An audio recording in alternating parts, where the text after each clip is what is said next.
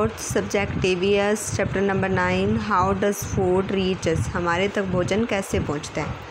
Food from plants plants से food लेना। Most of the foods that we eat come from plants जो ज़्यादातर भोजन है, जो हम, जो भी हम खाते हैं, वो प्लांट से हमें मिलता है। Cereals pulses vegetable spices and the oils we use for cooking and and all obtained different plants.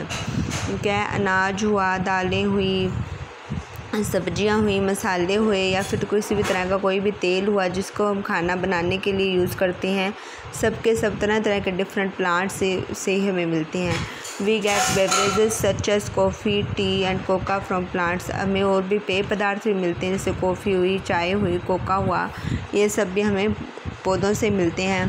People have use herbs and spices for centuries to flavour and preserve food जो लोग हैं, वो क्या herbs का use करते हैं, मसालों का यूज़ करते हैं, सदियों से करते आ रहे हैं अपने भोजन के अंदर स्वाद को लाने के लिए और अपने भोजन को प्रिजर्व रखने के लिए मतलब सुरक्षित रखने के लिए।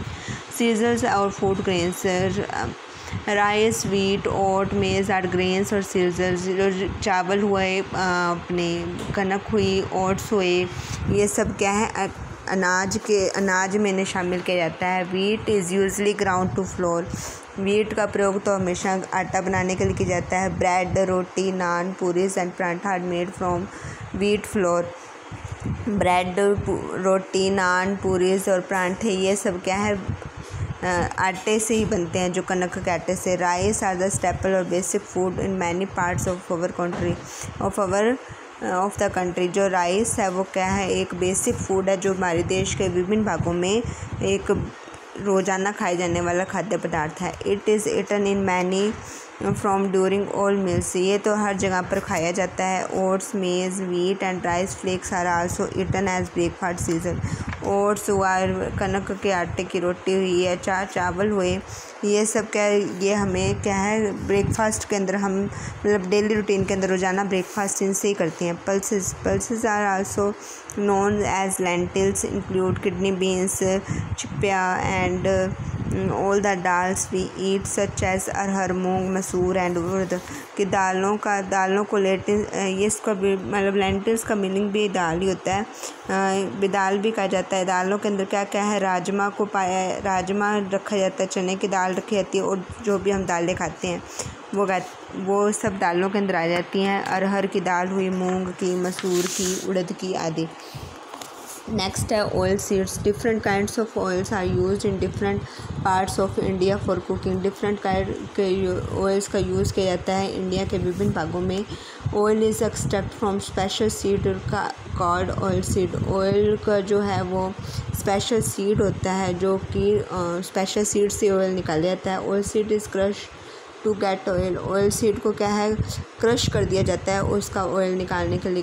Groundnut soyabean sea sunflower olive and mustard are the some of the most common oil seed ये सारे ऑयल सीड्स हैं। Fruits and vegetable fruits and vegetable are important part of our daily diet fruit, फल और सब्ज़ियाँ, ये वो हमारे daily routine का एक महत्वपूर्ण हिस्सा है।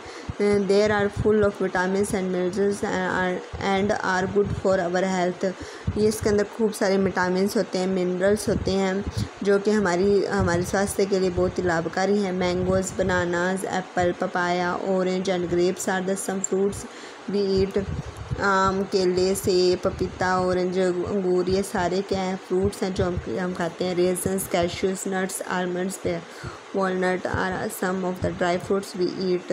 Raisins होता है बेटा किशमिश किशमिश हुआ, काजू हुआ, बादाम हुआ, अखरोट हुआ, ये सभी ड्राई फ्रूट हैं जो कि हम खाते हैं। We eat different parts of the plant such as root stem leaves and vegetable. हमें एक हम प्लांट्स के विभिन्न भाग खाते हैं। किसी बा, किसी की जड़ खा लेते हैं, किसी का तना, किसी की पत्तियाँ सब्ज़ी के रूप में खा लेते हैं। कैरेट टर्निप्स रेडिश रूट्स गाजर हुआ रेडिश मूली हुई, ये सभी क्या है रूट्स होती हैं। Potatoes ginger onions are stem potato ginger onion stems and spinach and beauties are green leafy vegetable जो पालक वगैरह हुई, ये सब क्या है, पत्तियाँ होती हैं पेड़ों की। Spices spices are seeds leaves bark और roots of plants that we we have a strong smell and taste spices क्या होते हैं? एक मतलब किसी का वो बीज होते हैं, कोई लीव्स होती हैं, कोई रूट्स होते हैं, इसकी क्या है, इससे खाने में, इसकी खाने में अच्छी सी स्मेल आती है और स्वाद भी बहुत बढ़ जाता है। They add colour and flavour to the food इससे भोजन में रंग भी आता है और सुंदर सा स्वाद भी आता है फ्लेवर होता है, स्वाद आना। Spices also help help us to digest the food better अगर खाने में अच्छे स्पाइसेस डाले होंगे तो क्या है, हमारा जो फ़ूड को है वो अच्छे से पचा भी सकते हैं।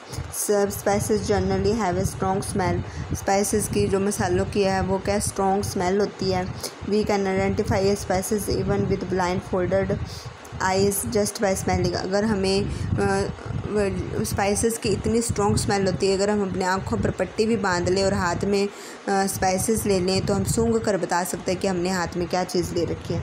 Cloves pepper cardamom tube turmeric bay leaves mustard seeds are and cinnamons are some of the common spices we use लौंग काली मिर्च दाल चीनी हल्दी बे लीव्स राई और ये सारी जो चीज़ें हैं वो क्या कॉमन स्पाइसेस हैं जो हम डेली रूटीन के अंदर अपनी रसोई के अंदर रखते हैं।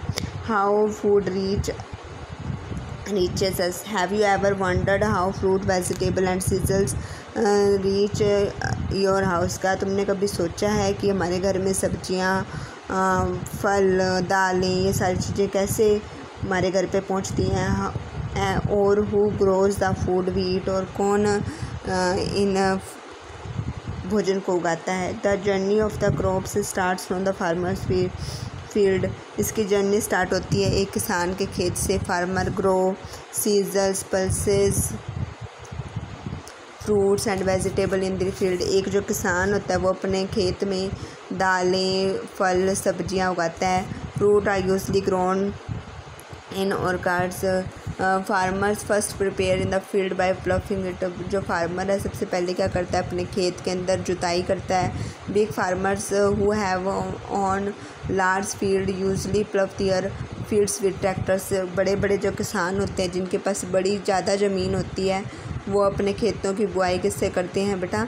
ट्रैक्टर वगैरह से करते हैं। Small farmers use oxen to prepare the field जिन, जिनके खेत छोटे होते हैं वो अपने खेतों में बैलगाड़ी से काम कर चलाते हैं। Mineral and fertilisers are added to the soil to make soil rich and in nutritions and reap a healthy crop later बुआई, जुताई करने के बाद उसके अंदर कोई फर्टिलाइज़र डाला जाता है मिट्टी के अंदर ताकि मिट्टी को क्या न्यूट्रिशंस मिल सकें और उससे एक अच्छी फ़सल तैयार हो सके। हेल्दी मीन्स यहाँ पर अच्छी है, सेहतमंद नहीं है, अच्छी है।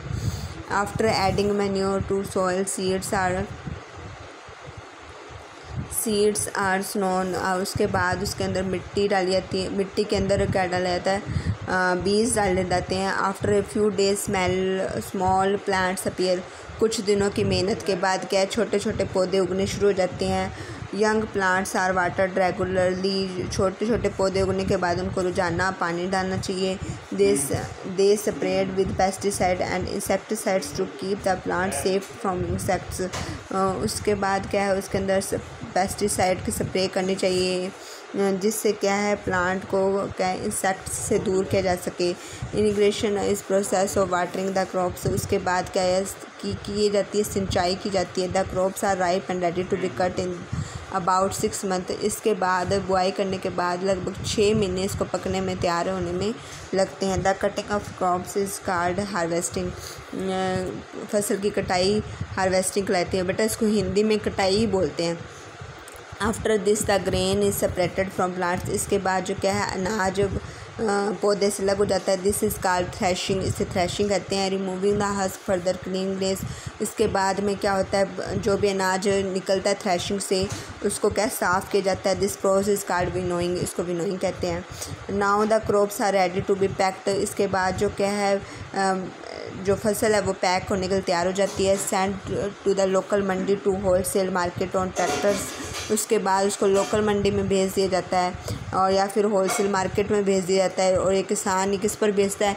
या तो ट्रैक्टर पर बेचता है या ट्रक पर बेचता है या फिर अपनी बैलगाड़ी के ऊपर बेच देता है। Some time this food has to be processed in special factories कई बार क्या है फ़ूड को स्पेशल फैक्ट्रीज के अंदर भी प्रोसेस किया जाता है। Rice and pulses are transports to mills by, for polishing before they can be sent to a mandi for further distribution. कि भी जो दालें और चावल हैं कई बार उसमें ज़्यादा मिट्टी लगी होती है फिर ज़्यादा फिर उसके अंदर क्या कहते हैं खरपतवार वगैरह ज़्यादा होती है तो उसको पॉलिश करने के लिए क्या कहता है मंडी के अंदर मंडी में जाने से पहले क्या कहता है फैक्ट्री के अंदर भेजा जाता है distribution then sells to this to the grocery store उसके बाद में डिस्ट्रीब्यूटर क्या है, वो उसको ग्रोसरी स्टोर में भेज देता है. From where you can buy it वहाँ से तुम खरीद सकते हो. The shopkeeper is called retailer shopkeeper जो इसको बेचता है, उसको रिटेलर कहते हैं and you are the consumer और तुम कंज्यूमर हो जाते हो. तो बेटा, ये था इसका चैप्टर आई होप आपको समझ आया होगा. Thank you very much